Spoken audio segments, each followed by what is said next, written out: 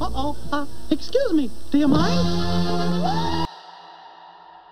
After the incident, Mickey was deeply traumatized.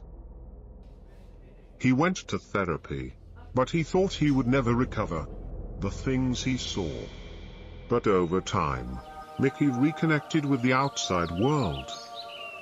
He learned to appreciate nature once more.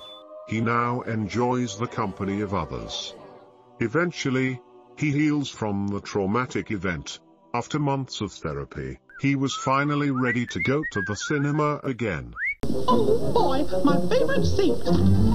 Uh-oh. Uh, excuse me. Do you mind? He never recovered.